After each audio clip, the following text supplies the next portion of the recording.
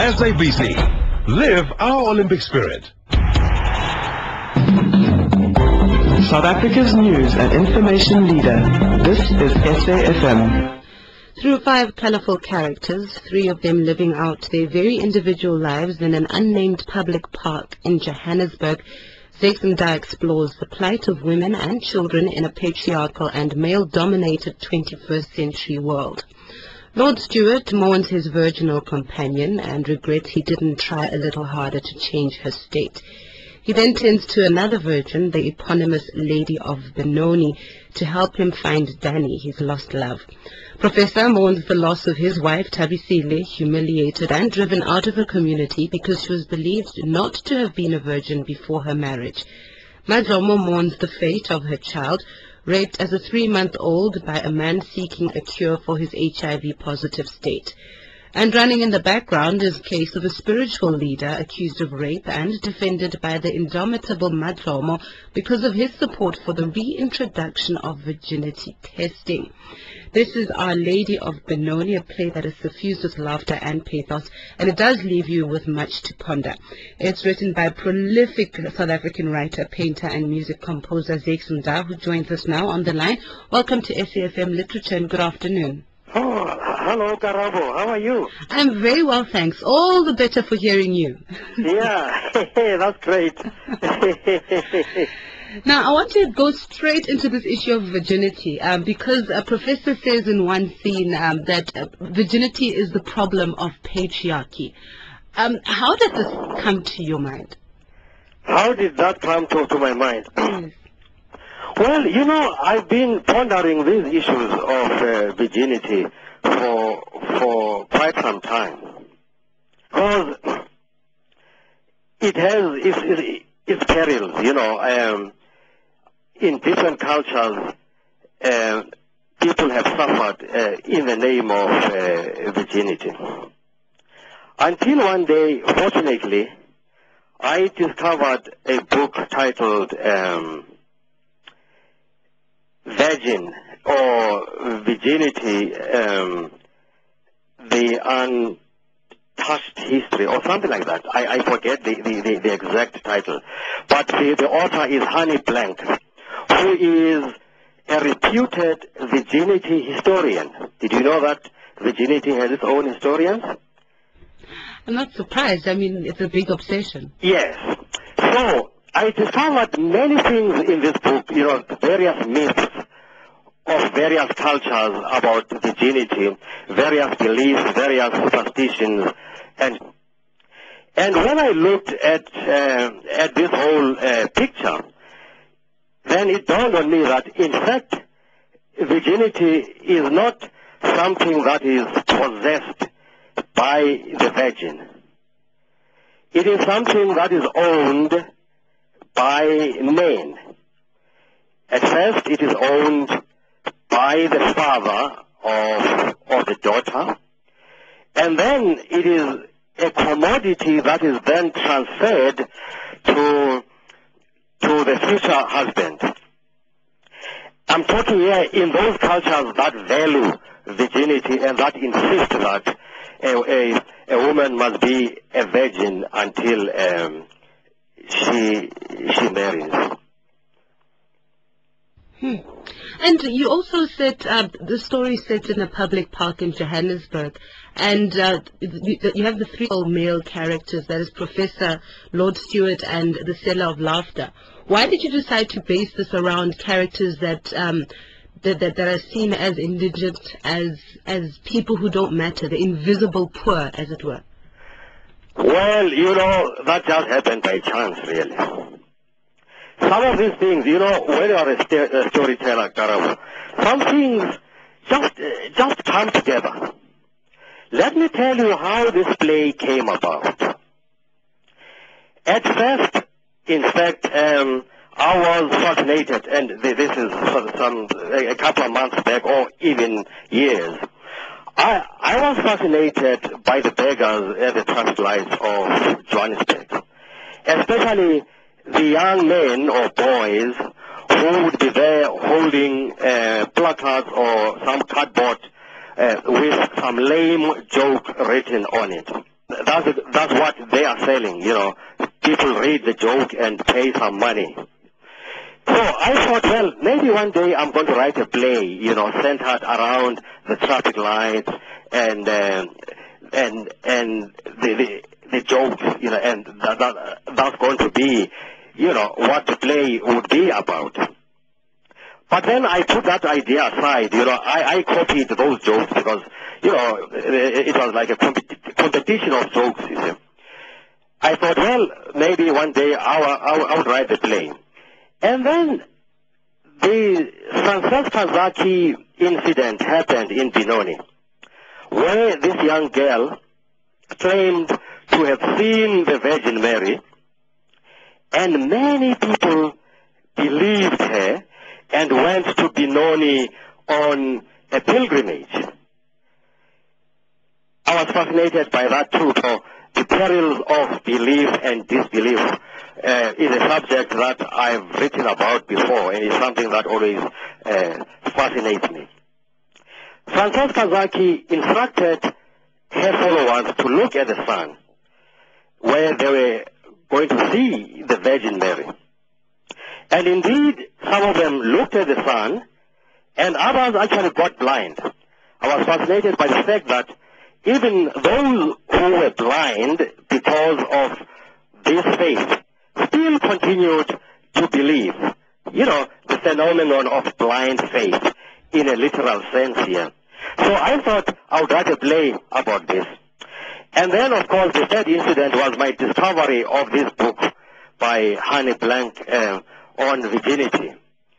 The, the, the, the, title, actually, I remember it now, is Virginity, the Untouched History. So, then it occurred to me, well, well you know, these three incidents uh, about which I was, I, I thought I was going to write three plays. I might as well just write uh, one play, just collapse them together and write one play. So that is why then the play is about those beggars, first at the traffic lights and of course, but the main setting of course is the park where they live. And then of course, you know, the story unfolds from there. We're in conversation with Zakes Mda, this is SAFM Literature with Kgoleng, discussing his latest play, Our Lady of Benoni. Our lines are open. You can take part in this conversation, share your thoughts about uh, Zakes Mda's ideas and thoughts around virginity and faith and um, yeah, just the, the, the kinds of lives that, that, that unfold. Um, in, you know, just in particular, give us a call on 0891 104207, SMS uh, 34701, 34701, and each SMS costs 2 Rand. There's another character that I also found incredibly fascinating, and that's Madlomo. Uh, she, her child, her child has been was raped as a baby, and uh, she goes on to defend um, this spiritual leader who has a very a confabulated name. I think it's comrade, our leader. Um, wh- why does she cut such a pathetic figure? I mean, you know, she's she's really trying to come out of this this misery and having to look after a child who's got AIDS, but at the same time, she, she you know she she defends this man because. Uh, she believes in, in, in virginity testing. Uh, what are you trying to illustrate with this conflicting character? Well, you see, I think it will depend, I mean, what uh, the reader or the viewer, you know, uh, takes from that or interprets that character.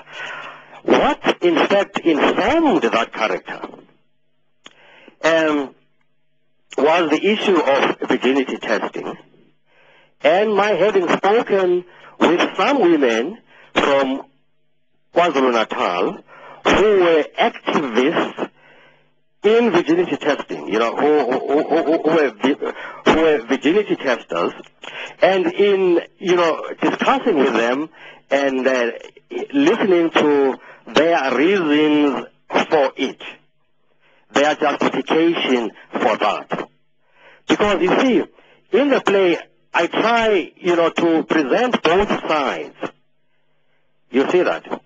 But of course, it does become obvious, you know, which side I fall myself, you, you, you see.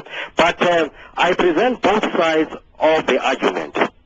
So Homo then represents the side that defends such, you know, uh, customs as virginity testing and why they are still essential um, uh, today.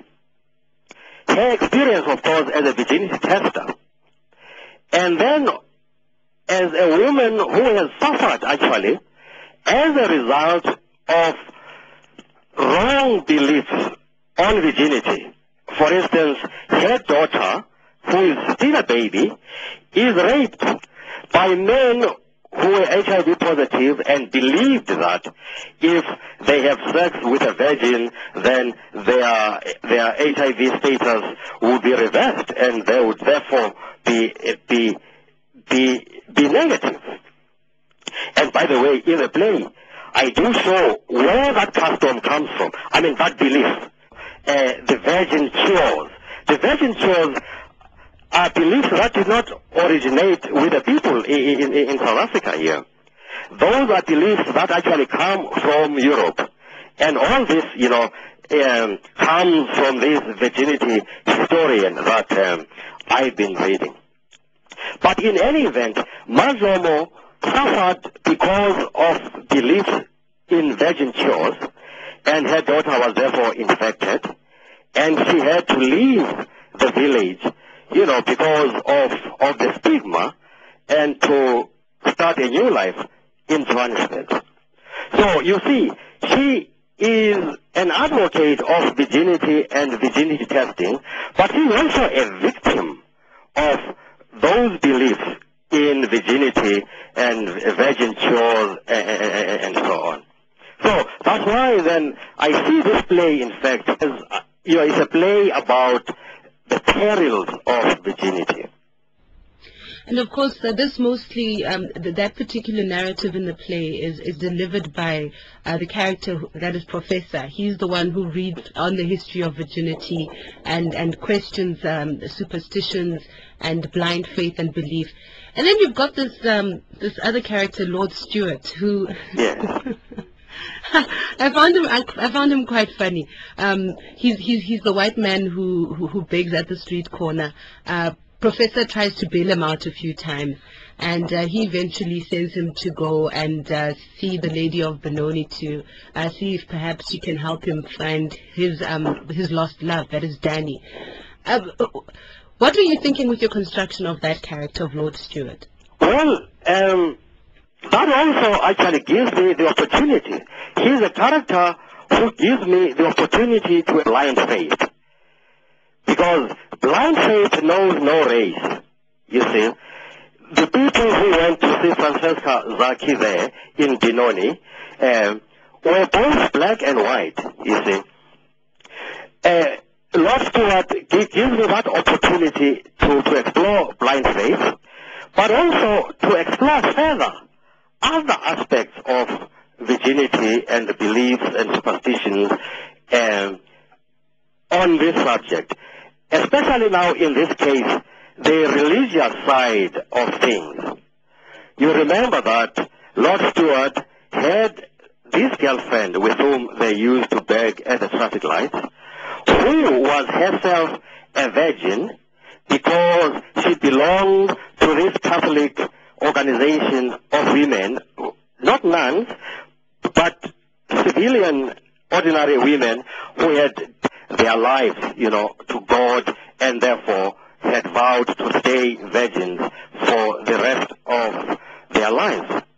And of course, Lord Stewart suffered a lot uh, because of that, since, you know, um, their relationship uh, uh, stayed platonic, uh, even though that was against his own, you know, wishes and desires.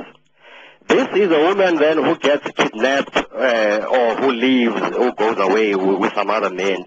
And Lord Stuart is pining for her for a, for, for a very long time. When Francesca Zaki comes into the picture, he believes that if he goes there and prays to the Virgin Mary, her, or his love will come back. Yeah, and um, also uh, Danny's character, even though I mean those are the the three characters that we don't actually get to meet in the play. They're Yes. present, but um, by those who speak about them are Francesca, Danny, and uh, this uh, this spiritual leader who's who's going through the rape trial. But Danny's case also made me uh, think about mental illness as well, because Yes. by the sounds of things, um, things went quite alright with her on the, on that front. Definitely. Many aspects of belief, you know, have been consigned by scientists into some mental illness and so on and so forth. So I do explore that, that side of thing, uh, of things uh, uh, as well. Fascinating play. Um, I'm thinking in my mind, someone like James Ngcobo should put it on stage. Do you think so? I think so. I think so. Well, you know, mentioning James Ngcobo it's as if uh, you are a prophet else. Why? Because when I wrote this play, actually I had no intention of, of writing a play at all. Until James Ngcobo directed a play of mine, and I was impressed with his work, then I told him that, well, one day I'm going to write a play for you. So indeed, I got the opportunity then, uh, as I told you before, how the play came about. Immediately I thought, well, I think this is a James Ngcobo play. But unfortunately, after I I wrote it, he had many other projects. But uh, I I think that he will still do it because um, the Baxter Theatre in Cape Town is keen on the play. You know, Lara Foot, who has directed my plays before, is very keen on this play, provided, is Lara Foot is only keen on it, provided it is directed by by by James Moore. So I'm I'm hoping that perhaps um, but of course, when Lara and James do it, it, it will have to be drastically adapted. You know, why? Because it is very long. That play is almost three hours long. I saw that when it was read by actors at the Baxter Theatre under the direction of Lara Foot. And it went on for about three hours. So, it, people no longer have that kind of attention span. It, it, it will therefore be adapted and then be shortened quite a bit for the stage. But then that is fine with me because this is a kind of play, you know, what is known as closet drama as well. A kind of play that I wrote not only to be performed but specifically to be read as well. So it is both a read kind of play and a play that can be staged provided it is shortened a bit and it's very easy actually to shorten it because some arguments there can actually be cut down. Yeah, definitely. Well, I look forward to seeing it on the stage, and I look forward to giving it another reading because it was an absolute delight to read. And Oh, an absolute oh, I'm so to happy to hear that, Karabo. Thank you very much, Professor. Go well. It is my pleasure. Bye-bye. That's uh, Professor Zakes Mda, South African writer, painter, music composer. His works have been translated into, this, more than 20 languages and have won numerous awards in South Africa, the US, Italy, including Commonwealth Writers Prize for Africa, the Sunday Times Literary Prize, the, uh, the Zora Neale Hurston Richard Wright Legacy Award, and he's also a patron of the Market Theatre Johannesburg. So, yeah, I'm glad I'm not the only one who thinks this would make a brilliant uh, play under the directorship of uh, uh, James Ngcobo. And of course, Our Lady of Benoni is published by Wits University Press and it's available everywhere. If they don't have it, ask them to order it. Let's catch up with the Olympics now because we are in that spirit. It's the London Olympics 2012 and Manfred Seidler is looking ahead at some games for us. Good afternoon, Manfred. What have you got? Well, good afternoon. The women's cycling road race has gotten underway half an hour ago. Of course, they've got uh, three riders in there, Ashleigh Moolman, Patio, Robin Foot, and Janet van der Winkel. But it's going to be a tough ask for them to uh, make a breakthrough as the, the Dutch Marianne Vos is the hot favorite to win this. She's won virtually every single major cycling title you can imagine. World Championships in road, cyclocross, track, gold medal in the points race, and track cycling, Beijing Olympics. She hasn't won this Olympic road race yet, so this is the big one that she's gunning for. Um, so really, really looking out for her, but also defending Olympic champion Nicole Cooke, the, from Great Britain, hometown favourite.